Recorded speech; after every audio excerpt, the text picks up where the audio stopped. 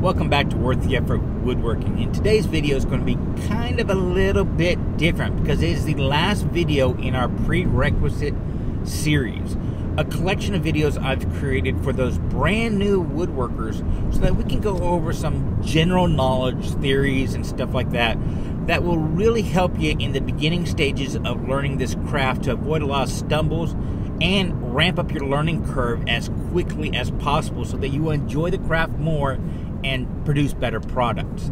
Today we're venturing out on a little field trip to a hardwood dealer, uh, which is quite a bit different than a typical lumber yard that is, uh, you would see at a big box store or a construction company would frequent. A hardwood dealer is where we're going to get the fine walnuts, maples, cherries, domestic woods, or even some of the local species that kind of define the style of your little region of the country. So, come along today as we venture out into the sunset to see some really cool wood.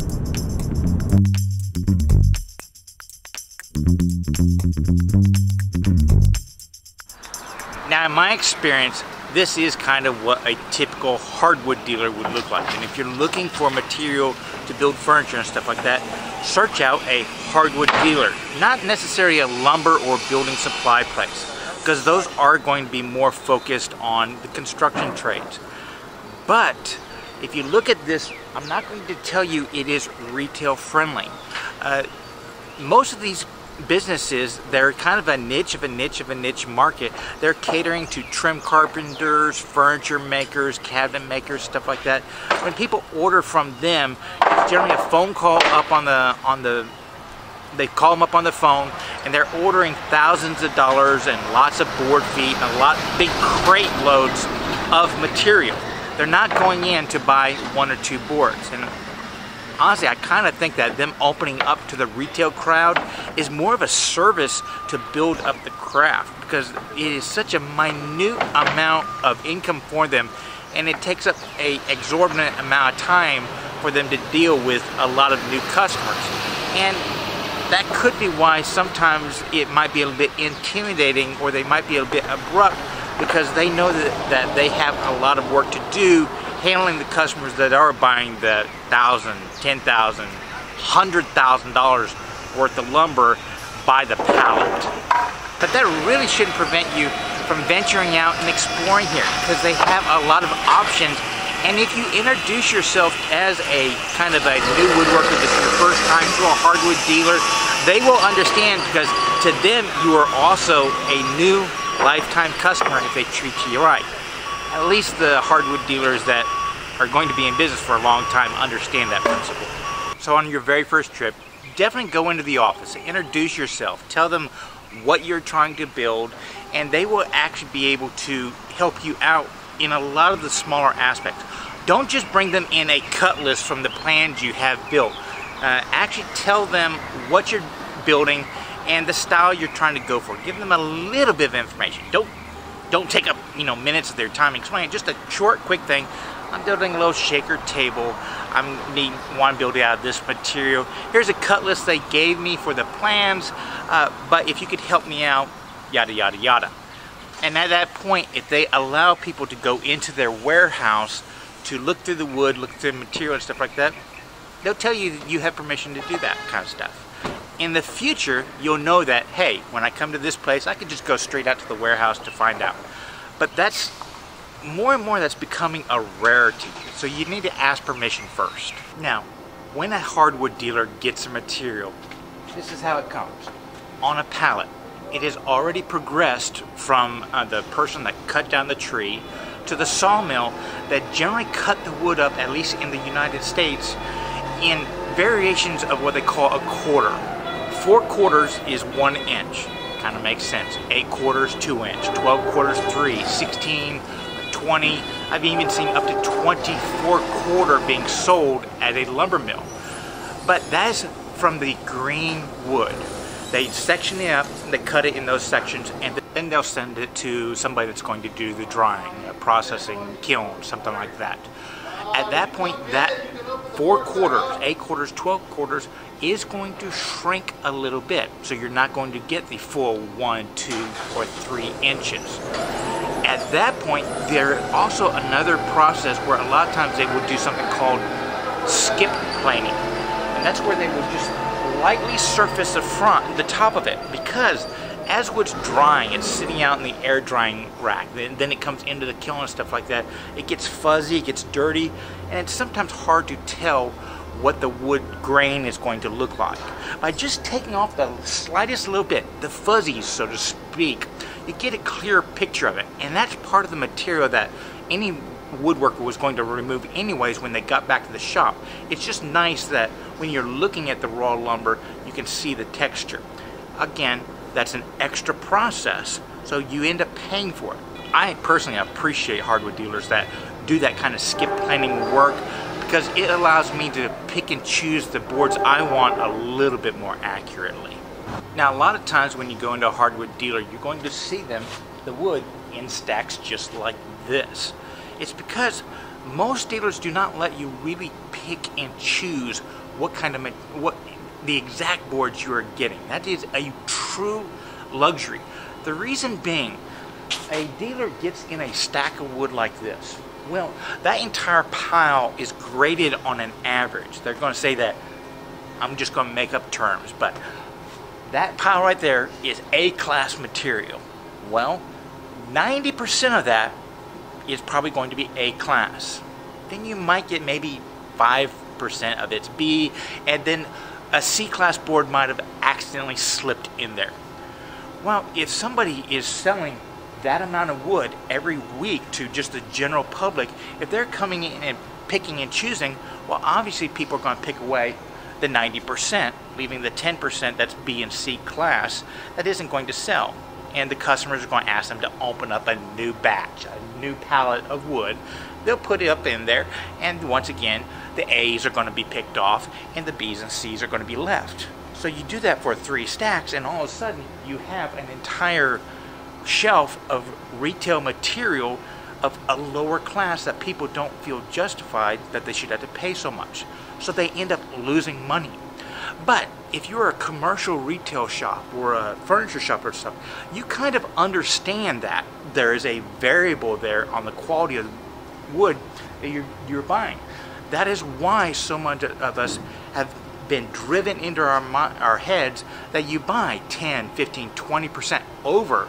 So not only can you pick and choose what parts come out of which board and get the best section over there, but if you get a few off boards, it's not that big a deal. You can set them aside and use them for something else, or section use smaller por portions of that board in a better pro project. You don't need if you don't need the full length that's kind of built into the system, which is why most hardwood dealers I've ever been to, they don't allow people pick and choose. It's just it's, boards start coming off the top as you buy it. Now you can tell that person, hey, I need in my order a certain number of boards that are this wide or that wide or something like that. And if they can accommodate that, they will. Otherwise, you're going to have to be gluing it up. But that is somewhat common request in the industry. You just can't tell them, I want all the boards to be a foot wide when you know you're going to be cutting them up into two foot sections. That's just, that's just not fair. But also understand, once again, their target audiences of this business isn't the person buying one, two, or three boards. They're not targeting people buying $100, $200, $300 worth of material.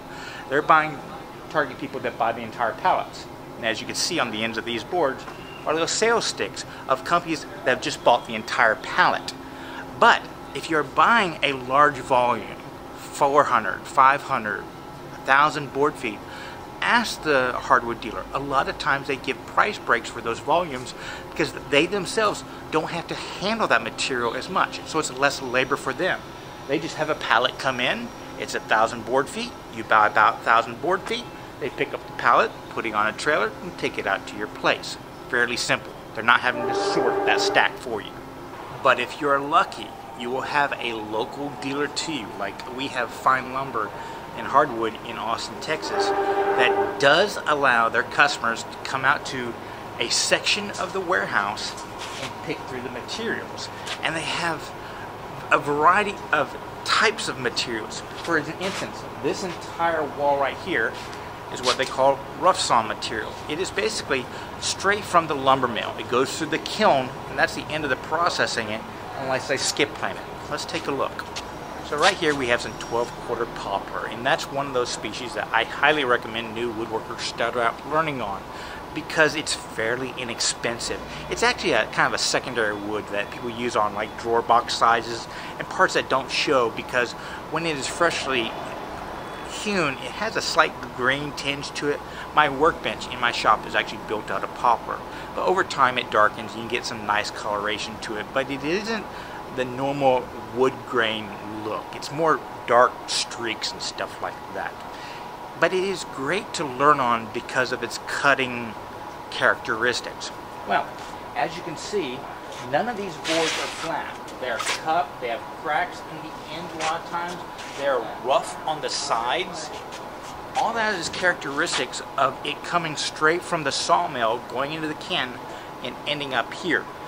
Because there are less human interactions with the wood, less machines that it's going through to make it pristine, flat, square, all that kind of stuff.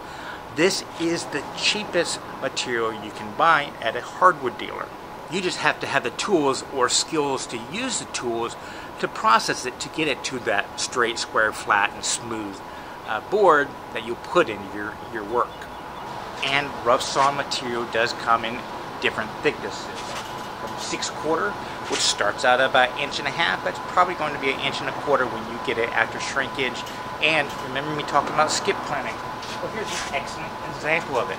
You can see it's just kind of touch, skim the top, but it's not making it perfectly flat. For example, right here on the sides of this one, you still have a little bit of that roughness from the bandsaw mill or the, the circular saw mill. It's just touching it enough so that you could see the grain pattern that you're buying. Now, I will say, in Europe, 8 quarters is generally the smallest you're going to get in rough sawn material. In this country, we do go down a little bit smaller, but 8 quarter seems to be where the most of the sawmills uh, target as far as they're harvesting the trees and stuff like that and going through that entire process. So that's probably going to be your best value.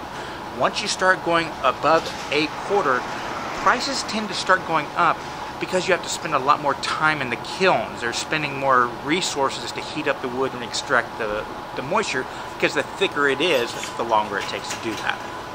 Now, if you don't have the resources to mill up the rough stock, they do provide pre-milled material.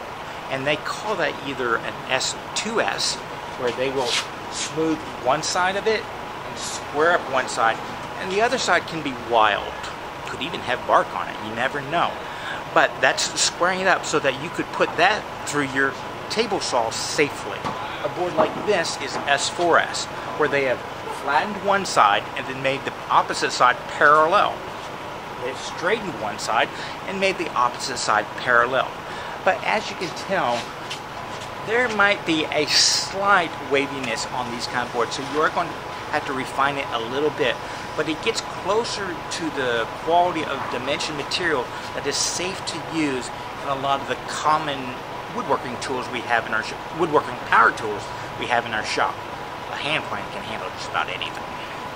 But once again, every time you introduce another step that the hardwood dealer has to do to the board to make it something attractive for you to buy, the price does go up price starts to go up pretty dramatically when they start doing the processing for you.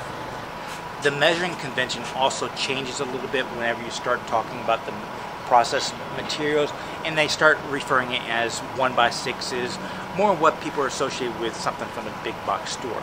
But just like the eight quarter, six quarter, and stuff like that, you're not always going to get a full one inch thick board whenever you buy a one by six for the simple reason that, once again, is referring to the size of the board before they started doing the work for you and processing in a way to get it to something that you could use.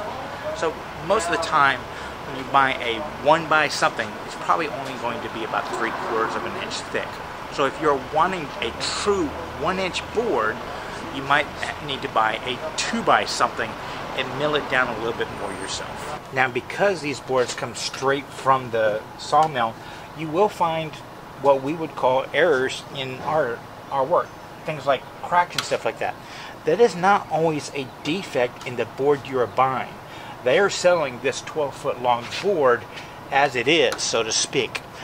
Though, whenever they are pricing it, if you're a really good customer or you have a hardwood dealer that has worked it into the price, a lot of times you will see little chalk marks or something like that with a line here saying that they are only pricing that much of the board.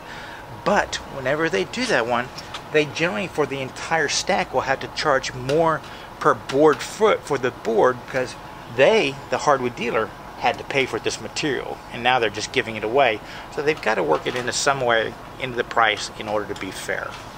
Now this material, whether it is sold rough or dimension is sold by the volume. It's not a board price. You're paying for the cubic inch of material. And the unit of measurement they typically use is something called a board foot. It's easier to explain that one on the whiteboard, so we'll head back to my shop for that one. Now, board feet is a measurement on the cubic inch scale. A cubic inch is if you take a 1 inch by 1 inch by 1 inch block, height, width, and depth, you multiply that amount and you basically get 1 cubic inch. So if you take a square foot board that is 1 inch thick, but you have 12 inches going across, 12 inches going down, and only 1 coming up. So 12 times 12 times 1 equals 144 cubic inches. And that is one board foot. Foot in one direction, a foot in the other direction. Now, because this is a measurement of volume, you can reorganize this any way you want. For example, if you had a board that is 6 inches wide and 2 inches uh, high and 12 inches long, well, that 2 equals up to 144. In fact, that is a very common measurement. You will find a lot of times rough stock boards are cut into 8 quarter material, which is 8 divided by 4 is 2 inches, and it's 6 inches wide. It's just a very common section. So if you have a board that is 8 feet long and 8 quarter, that's 6 inches wide, you pretty much know you have 8 board feet. So however you can multiply the math to come up to with 144 cubic inches, that's a board foot. Other things that can affect the price are obviously the species, but in addition to the species, it's the type of cut that the board is, be it a quarter sawn, rift sawn, or flat sawn. And once again, easier to explain on the whiteboard. Now this is a quick review. We covered all this in the uh, class on wood earlier in this course. But if I were to split a tree in half, like on a bandsaw mill, cutting it up right down the middle, another slice, another slice, another slice. So we end up with boards that look kind of like this right here. Okay? Well, we always know that the pith is trash, so we're going to cut that out. And now we end up with two boards where one of the faces, the grain is coming directly into it at 90 degrees. And that is incredibly important in some species when you're going for the medullary rays because they are uh, migrating out from the center of the tree and if you get slightly off on them, you're not going to see them. So these two right here are called quarter sawn boards. If I were to split this board in half, kind of like that right there, well, these two outside boards, because the, the grains are coming in at about 45 degrees, they're called rift or bastard sawn. And because this grain right here is running across the board pretty much side to side, that is called flat sawn. Now, I'm sure you can see that if you're just bandsawing out boards, like you see most of the trees being cut, this is the most efficient use of the entire tree. Because pretty much everything of it is going to be turned into a board, with the exception of the pith right here. which is always trash. But if you look at it, out of this entire thing, we only have two board, four boards that we can sell as quarter sawn, and they are highly prized. Everything else is just a variation of rift or flat sawn, which you know you can get a lot of that. So what happens is a lot of lumber mills have started coming up with different ways to maximize the uh, ability to get more quarter sawn material out of a board. Now sometimes they will do the same exact thing they did originally and they will cut a log in half. Okay? Then they will rotate the log sideways, then they will cut it in half again. Okay? Thus getting four separate logs. Each one of those logs, they will come through and they will cut out a section like this, a section like that, and once again, assuming the pith is trash, well, all of a sudden, they just ended up doubling or quadrupling the number of quarter sawn boards they got out of the tree. But only this face right here, this face right here, that face right there, and that face right there will have the best medullary rays, or however way, mount, way you pronounce that because as you can see the grain is slightly curving off of 90 degrees right there which will get some but not as much as that glorious face. The rest of the log they will continue to cut up but that's more getting rift sawn and flat sawn boards. The other way they can truly maximize the amount of yield they get out of a board going for quarter sawn is they will be able to grip the log and rotate it and then they will make one cut going straight through the pith, then another cut going straight through the pith, another going straight through the pith, and going all the way around.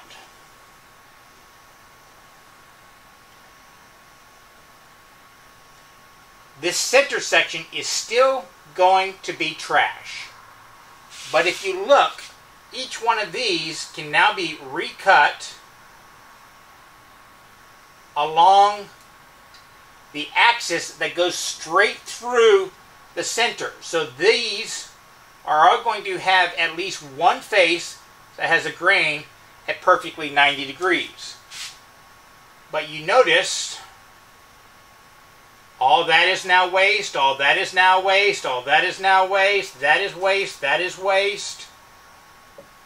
There's a lot of waste in the material, but you will end up getting as many of those diagonal, those cross section cuts of quarter sawn material as you can do.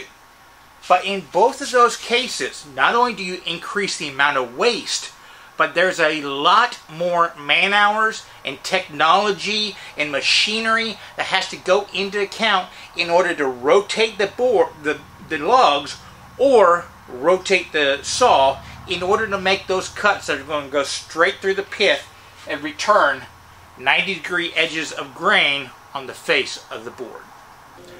Now white oak is one of those species where quarter sawn material is put as a premium because the flecks that, flecks that come out of the medulla rays, medullary rays, or however you pronounce that, are just gorgeous and they're kind of a key aspect of mission style furniture. So it is a lot more expensive to cut that out, as you saw, and get a consistent quarter sawn material. There's a lot more waste. So if you're buying quarter sawn white oak, which there's an entire mar market of sawmills that that's all they produce, it's going to cost you quite a bit more for the simple reason of the added labor and the increased waste. And finally, in some species, where sometimes of the production cycle, if there's increased demand or anything like that, sometimes you'll pay a little bit of an extra premium for the widest of boards. They'll put out a document that says if the board is more than 12 inches, add another 10, 20 dollar to the board foot you're paying for. That saves you labor if you're doing a glue up, but it's just so much more rare to find trees of that size in certain species, so they're worth the premium. And there's one kind of last thing I want to talk about about pricing is that it is not static. It can't be. This is a commodity product. Uh, you know, sometimes some years there might be more cherry available, so prices might come down. Some years there might be a blight and it kills off all your white oaks. So you'll have more of that material coming into the pipeline, but then two years later it's going to be scarce because so many of those trees died, they don't want to harvest as much than the following years until it works its way through the through the wholesale environment. And prices of the what they buy from the distributors, well, that can vary daily. Your hardwood dealer is having to adjust their prices for what they buy it, and that could be different for every single pallet they get. On on main main boards like cherries, maples, that kind of stuff, it's not going to vary that much from week to week, month to month, but it's not going to be the same. So when you go in or you call in advance, ask them what their current board foot price is. But if you go back a week or two later, don't be surprised if they had to adjust it. It's just they're trying to make a living and there's so little margin in this business. I'm surprised some of these places like Austin Fine Lumber have been around for, you know, generations. But one of the cool things about a good quality hardwood dealer and the fact that they are here to supply the pros out there is they have a wide selection of some stuff that you really might want to play around with that you won't find anywhere else, such as a huge variety of sheet goods. Well, it's going to be graded on the quality of its face and the quality of the back. Those have two different ratings in addition to the quality of the core and the various types of cores. For example, this has a C core, which is a good mid-grade. Some people would call this a bottom level that you would use for uh, doing clear finishes on wood and stuff like that. Anything below that, the variations of the core will show through in the type of finish you use. Some, which is why below that one, most people just do paint. Some people, well, you know, a decade ago, C would have been considered paint grade, and B's and A's would have been finish grades. But times are changing, and to keep the prices down low, C grade is where a lot of people are putting finish on nowadays. The quality of the cores can also dramatically influence the finished look of your project. Uh, this being a B grade core, well, this is a laminated material. Now, if the manufacturer is trying to bring in a lower price product, they might actually mix up different woods with different densities. So when you sand it, those differences in densities will come out. Kind of like if you've ever sanded something with a hard, uh, uh, hard early, uh, hard late growth in a soft surf, uh, early growth like pine. As you run sandpaper over it, you kind of take away a little bit more of the soft stuff. That can hamper here, and that will telegraph through. So the higher the quality of the uh, core, the less telegraphing you're going to get. And that includes things like gaps, because certain species like maples and stuff like that will telegraph a gap a lot less than something like, you know, oak or cherry. And you can even get things like combination cores. A lot of plywood, they would do just a straight MDF core, uh, just to make it nice and flat. But other times they would do the, stri the striation for the strength and the durability, but on the very top layer, they will put a thin coat of MDF. And they do that when, when they're doing thinner veneers on top. Now, the way it's been explained to me is that imported veneers, you know, they're generally like a fraction of a millimeter. But in this country, domestic veneers, they might be a 32nd or a 64th when they make it, but the final process has always been to sand it down. So that 64th will get a little bit less than a 32nd in the end, but that's still quite a bit thicker than imports. I'm also being told that the entire industry is somewhat in a transition right now, and even the domestics are going to eventually become thinner and thinner and thinner, and putting that thin layer MDF is one way they can do that one without reducing the quality that much. The downside is it is thin, so you can't sand it as much when you get back to the shop. Give and take. Other options that are available to you at a hardwood dealer that aren't always available to you in a big box store is type of veneer that's on that place. For example, this one right here is kind of boards, slabs sections. So it looks more like a glued up board. Where a lot of times they are more radial sawn, where they're just kind of peeled off of a log, so it looks more consistent. Now, if you're just doing paint grade, that's perfectly fine. And some species, like maples and stuff like that, they look okay with that. But if you start getting into oaks and you're doing that radial cut, I'm telling you, you're gonna think it looks ugly. That's why the boards look so much, they have that option of the boards because it just looks so much better. You see, when you come to the hardwood dealer, options open up. And if you have an idea that I want a nice, smooth dining table, you come in and you ask the person, what kind of core should, do I need for this kind of stuff? Do I need a thicker veneer? What type of veneers do I want? How do I want to get it cut? Do I want to get it oversized? Because, you know, traditionally we make 4 by 8 sheets, but places like this can order, it's very easy for them to order slightly oversized, like 48 and a half inches. So if you're putting on a CNC machine and, you know, you have a thicker kerf on your bed, you can still cut out the same shape. They do all that kind of stuff. They can even cut it down for you. There are a lot of services that uh, most hardwood dealers offer. So if you go buy something like that rough saw material because you want a really thick slab material, well guess what? They have the machinery, skill, employees, and ability to handle that stuff for you very efficiently and mostly it's a very reasonable cost when you consider that they're having to do all the maintenance on the machines and buy the machines and stuff like that. You're working out of a small apartment and you want to do something unique with specifically thickness material, well have them do all the heavy work and then you can do all the fun joinery work with your hand tools and end up with pro level quality furniture without having to invest a lot of that resources yourself another product that's really attractive to the pros, but a lot of us amateurs might not always have access to, is trim pieces. All different profiles, all those classic stuff that you take out of your restoration home or something like that. Chances are they have that profile here, or they have the means to efficiently make it. So, there you go. In this series, I hope you now understand the basics of what the tools you have access to, what you can do with the tools, the material you're doing, and now where you can buy it. Because this right here is our toy store. This is where our imaginations come alive. And if you, even if you don't intend to buy materials and you have access to a hardwood dealer that would let you kind of look through their warehouse, which is kind of rare nowadays, go by some time, walk through, maybe ask a question or two. They understand that you're new and you could become a lifetime customer of theirs. And if you have your very first project, bring in your plans, talk to them, ask them, hey, would it be better to use plywood for this tabletop, maybe trim it out.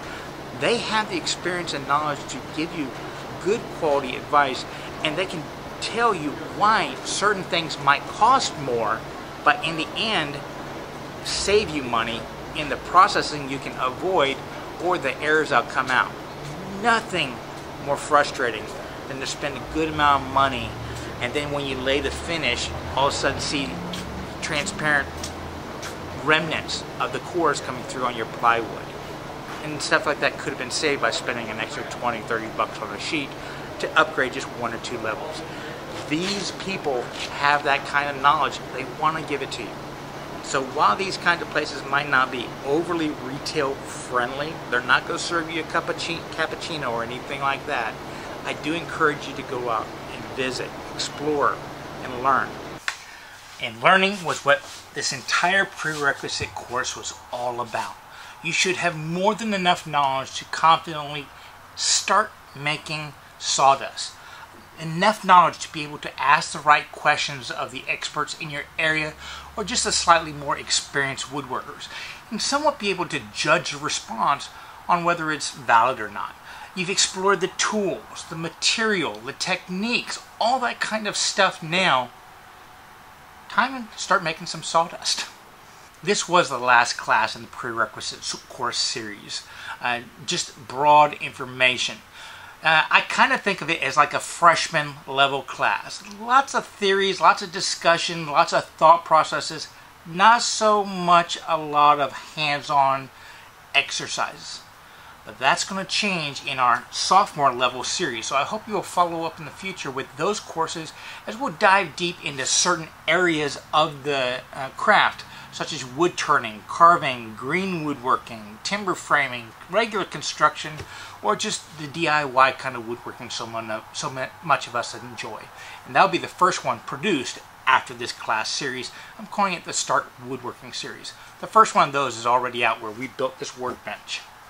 But please remember, I and a lot of other content creators on all different kind of platforms depend upon you, our audience, to help subsidize all the time and effort and expense it takes to create series like this. Nine episodes for the beginning woodworker to give them the best start at being successful in the craft. It's kind of a value for value proposition where we provide the value first and hope that we can get a little bit back in return so that we can just continue doing this. It's not a huge money maker. So if you'd like to support this effort or any future effort, you see value in it for yourself and others, check out in the description down below because I have lots of different ways you can help us out. And congratulations for finishing the first course on your path of becoming a woodworker. And when you do, remember that it is always worth the effort to learn, create, and share with others. Y'all be safe and have fun.